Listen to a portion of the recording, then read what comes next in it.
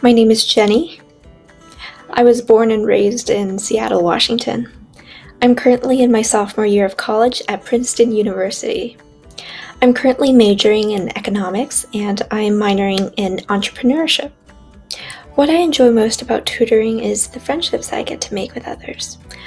For fun, I like to watch TV shows and I like to go to the movies with my friends.